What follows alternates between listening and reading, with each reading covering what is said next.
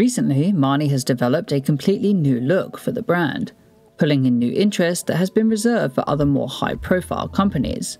But Marni has been going a long time, so why is it only now that they're seeing this kind of attention? Marni actually originated as a diffusion line of a prolific furrier known as Ciwi Furs that began over 70 years ago. Founded in 1950, Ciwi Furs was an extremely successful family run fur company working with mega brands like Fendi, Prada, Jil Sander, Valentino, Dior, Roberto Cavalli, Louis Vuitton, even as recently as 2005.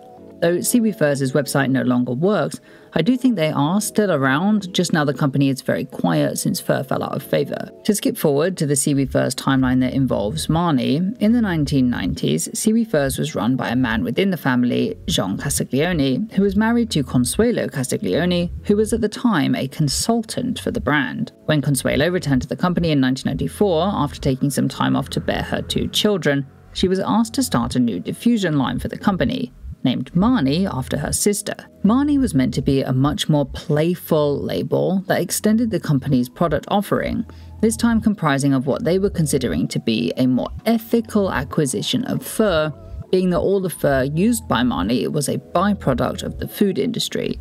Similar to how cow leather is still procured for many bags, wallets, and shoes today, Marni slash Furs even went as far as to say it was better environmentally than the synthetic furs that were the alternative at the time, using that as their differentiator. So, Marni began with this collection as a one off product offering, mostly due to how difficult it was to get this so called ethical fur. However, due to the extreme success of the first collection, which made $26 million, 20% of which was coming from America, that meant that Marni would quickly introduce other fabric garments to bulk out their product offering, and again, due to the success of that, footwear was added in 1998 in the Spring Summer 1999 collection by way of the ugly clog, as dubbed by Vogue. So, until this point, fur had been quite a large part of the brand offering. But Consuelo was looking to differentiate her brand from the colossally sized family run Furrier and hadn't used their original key signature of fur in a couple of seasons, so in 1999, the label vowed to drop their fur offering altogether, almost 20 years before other brands like Gucci, Prada would do the same, and broke into their own, becoming their own standalone business. This was actually quite daring. Obviously, fur is widely hated now, but in 1999, the market was absolutely massive, and in the following years since the brand swore off fur, the industry as a whole saw a boom in popularity equal to a 70% increase in global sales between 2000 and 2010. However, that did not mean that in their next collection, Spring Summer 2000, the brand didn't see enormous success. It was met to rave reviews due to its easy to wear and colourful offering that was heavily likened to Prada, though with a luxe hippie twist. Of course, the brand had a lot of funding, a lot of success, and a lot of time to define a brand aesthetic, but it's still impressive that key elements like this neckline, playful prints, bold colors, embellished necklines, and this kind of a jacket, which was technically used in the Spring Summer 99 collection before the brand went solo, are already established in this collection. The brand was extremely commercially successful as well, managing to open a store on Sloane Street in London in 2000 and launching Marni Japan just two years after their separation from Ciwi Furs. They used this newly found commercial success to pioneer online retail as well, being one of the first brands to adopt an online store in 2006. So Marni as a standalone business knew what they were doing. They had a successful aesthetic and brand identifiers right off the bat, as well as an already loyal customer base. However, in terms of creative fashion offerings, Marni honestly isn't that interesting to analyze from this period in particular, they stuck to their image season after season until adding a standalone menswear line in spring summer 07. This 8 outfit collection reads very much as if the brand was testing the waters for menswear. They were solidified as a fashion insider favorite by this point in women's wear, which played into the quiet luxury trend that was going on at the time. But because of this, Marni didn't have the same brand exposure that their competitors had. But of course, that comes with the negatives that if they do launch a new product line, they cannot guarantee that it will have the same level of demand. So, producing an 8 outfit collection is definitely smart to test the menswear waters. But I don't know if any of the pieces that they chose were too clever. They didn't push menswear in any way. They didn't really even look like something the Luxe hippie brand would create, really. Marni actually showed menswear in the Spring Summer 02 collection much more successfully for this reason, in my opinion. But perhaps the sales weren't as they expected, so instead, upon the full release of a menswear collection, they produced just the inoffensive, standard menswear pieces that you could have bought in any store, really. But it clearly worked for them.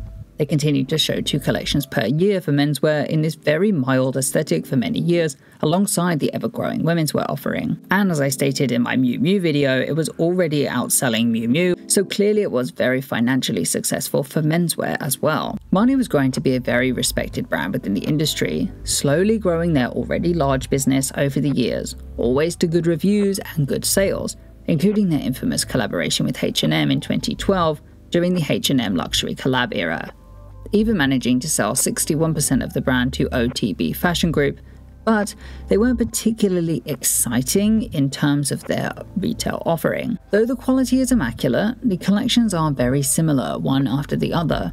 And realistically, though this is speculative, I think the growth of the brand must have just stagnated, leading them to think that it was time to reevaluate where the business was going.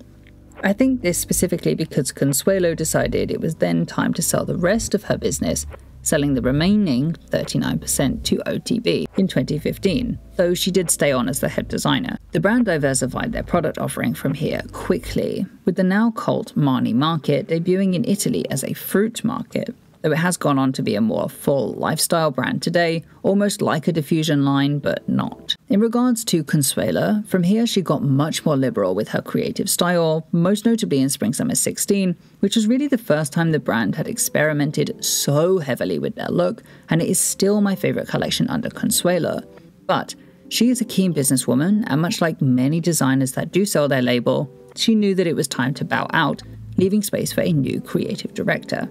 The company found the new replacement in Francesco Risso, an at the time not widely known designer who was part of the design team at Prada, who you may remember Marni was compared to in their early days. Risso's first collection for the brand was Autumn Winter 17, and it was a great introduction to Risso as a designer. Yes, he kept the Marni codes like that jacket, the vibrant prints, and the classic Marni jewelry, which debuted in 2003. Sorry for not mentioning that before, as well as reintroducing fur this time as faux fur. The collection was not without notable changes.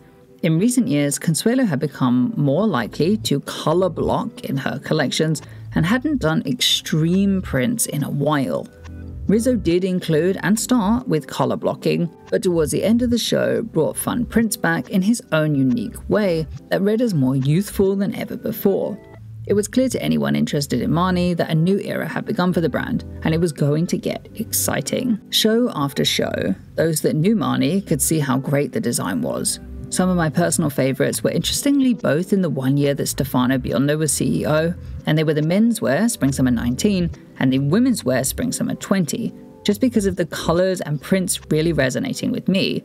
But even with the critical success, Marni was still a bit of an underdog in comparison to who they were competing with namely Miu Miu and Prada, who were still the most similar in product offering to Marni. I really think that if Marni had continued in this way, it would have remained an insider industry favorite, but never reaching out to a wider audience, just simply because of the shadow that Miuccia casted.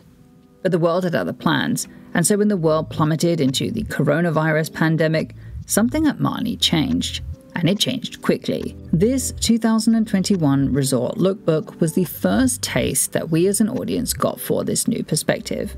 But nothing could prepare me for the reveal that was their Spring Summer 21 Marnifesto collection. The video lasts over an hour in this kind of cryptic CCTV themed video that was streamed live for Milan Fashion Week.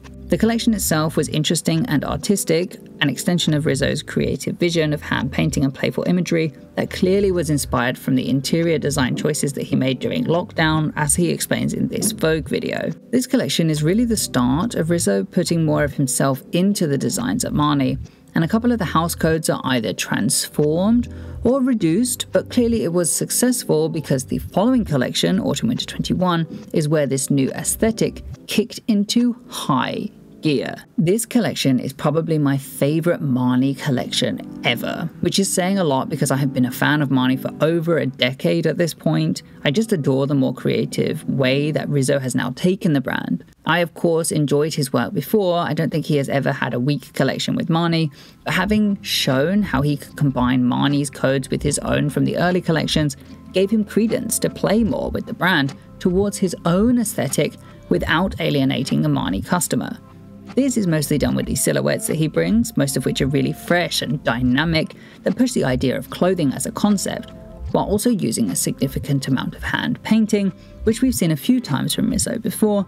And I also think that it's interesting that he preempts the large bag trend that we're seeing now, all the way back in 2020 during the pandemic. Autumn Winter 2021 is heightened luxury creativeness that was shown also through three videos that the brand released, with each one representing a different meal time filmed in Risso's own house that I showed you briefly before in the Vogue video. But the pandemic was coming to a more normalized point, and now people were curious how Marni, having evolved so much during the lockdown, would continue on this upward streak. The Spring Summer 22 collection significantly surpassed this expectation, not only the models, but also the audience were donned in hand painted Marni clothes in an expression of authenticity that was completely unmatched. The paintings this time were florals, which are basically a staple of Marni now at this point, as well as stripes. But more interestingly, in my opinion, were the silhouettes that they were creating. Once again, Risso completely subverts the traditional silhouetting that one would come to expect into these incredibly dynamic shapes, which are just beautiful especially in the menswear offering, as this kind of playfulness is seldom experienced for men with these older, larger luxury houses. Really, the only complaint I have about this collection is that the clothes that we see on the catwalk just didn't match what actually came into stores. I'm aware that that is common in the industry, and obviously it would be difficult, if not impossible, for them to produce hand painted garments for all of their 370 stores. But I would have been happy with a few more of the exciting garments actually being made for sale more widely. Of course, I do understand that Marni is a business and commerciality is super important, without which we wouldn't even see Risso's genius on the catwalk, so I'll take what I can get. The following collection, Autumn Winter 22, was played down in comparison as well. I did really enjoy this collection, even if it wasn't the most creative, a sentiment it seems a couple of the online reviewers had in a sea of extremely good reviews that herald the balancing of creative and commercial pieces, though I don't think it was his fault for this reduction in creativity. And instead, I think it adds credence to his skill as a designer to be able to adapt to commerciality this well when needed, while still including the creativity in the presentation, which began in this darkly lit room, but as the guests began to leave, they were met outside for a sun-bathed feast. However, even though I just complained about it, this adaptation to commerciality was exceptionally well timed because it was just a few months later that the viral Marni Uniqlo collab debuted. This collection really hit on TikTok, with several respected fashion commentators making videos on the collection to high praise, most of which men who were seemingly most interested in the patterns and prints that were on offer. A stark contrast to the vast majority of menswear that's on the market currently, especially in this high street setting where navy, beige, and black seem to be the only thing available. Having all the prints and colours widely available was undoubtedly strategic for this reason. It contrasted with the other clothes on display, bringing attention to the collab and thereby Marni as a brand, while also introducing many to what Marni had most to offer colour and print. The prints were largely designed to look like hand paintings, which is something I suggested that the mainline do more of earlier, with this being a great example of how commercially successful it could be in stores and potentially act as their differentiator to the other big name, long standing luxury brands, and even as a differentiator to their direct competitor in Prada. For this reason, primarily, the collection was a phenomenal success. Not only for its great sales, but also because it hit a new demographic of consumers that were unlikely to have heard of Marni prior to this which meant a huge increase of expectation for the Marni brand coming into their Spring Summer 23 show. Expectations that they were ready to meet head on with their debut New York show. Following the increase of youth as a market for Marni due to the Uniqlo collab, this move was so incredibly clever. Previously showing in Milan, and as far as I'm aware, they've never shown anywhere else, but Milan's demographic tends to be a tad more reserved, potentially a little older, especially for menswear, than the youthful energy that New York brings. Inspired by the everlasting sun, the collection developed on disheveled knitwear and interesting silhouettes through drunken knits, hand painted circles, and other shapes from the artist Flaminia Veronesi, crop tops, circular cutouts, and over and under sized pieces. It seems that Marni have been rebranding themselves towards this new vision Risso introduced in the 2021 resort lookbook that we discussed before. They've learned that it resonates with the young, and now they're just in the process of adjusting their target market accordingly. Not only in this new fashion week, but also in their product offering. The new Y2K look, mixed with this acidic colour palette, volleyed exceptionally hard towards Gen Z. Though this direction for the brand seemed a bit like fluke at first with the freedom that the pandemic brought Risso, the decision to go towards the noise instead of running from it is really clever as a business plan hopefully making for lifelong, loyal customers from these newly interested fan bases. Risso is such an interesting designer to watch, and I'm so happy that he's been able to flourish so much within the Marni brand, whom he clearly has exceptional synergy with. I'm so happy to see this new era, and I hope that he continues for many years at this because I can only imagine the growth that he will bring to Marni. Thank you so much for watching. Please like and subscribe for more videos like this one, or check out some of my other videos now.